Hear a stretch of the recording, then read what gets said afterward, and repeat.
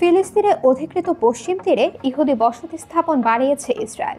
এর নিন্দা জানিয়েছে সৌদি আরব।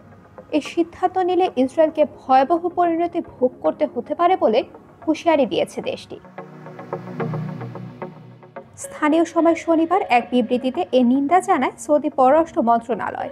সৌদি প্রেস এজেন্সি প্রচারিত এক বিবৃতিতে বলা হয়, সৌদি আরব আন্তর্জাতিক আইনের চলমান ইসরায়েলি লঙ্ঘনের বিরুদ্ধে কঠোরভাবে আপত্তি জানাচ্ছে। মন্ত্রণালয় সতর্ক করে বলেছে, যদি ইসরায়েলি কর্তৃপক্ষ বসতি সম্প্রসারণ পরিকল্পনা চালিয়ে যায়, তবে এর ভয়াবহ পরিণতি হতে পারে।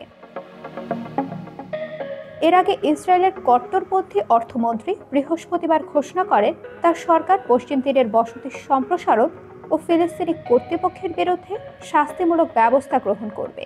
আন্তর্জাতিক মঞ্চে ইসরায়েলের বিরুদ্ধে ফিলিস্তিনিদের কার্যক্রমের প্রতিক্রিয়া হিসেবে এসব ব্যবস্থা নেওয়া হবে।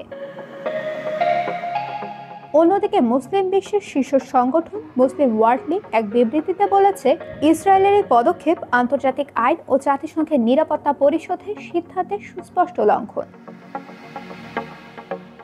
মুসলিম ওয়ার্ল্ড লীগের পক্ষ থেকে জোর দিয়ে বলা হয় যে, ইসরায়েলের এ ধরনের পদক্ষেপ কেবল এই অঞ্চলে নয়, বরং সমগ্র বিশ্বের নিরাপত্তা ও স্থিতিশীলতার জন্য হুমকি স্বরূপ এ ধরনের কার্যকলাপ ফিলিস্তিন সমস্যার স্থায়ী ও সুষ্ঠু সমাধান এবং এই অঞ্চলে স্থায়ী শান্তি প্রতিষ্ঠার প্রচেষ্টাকে ক্ষুণ্ণ করছে।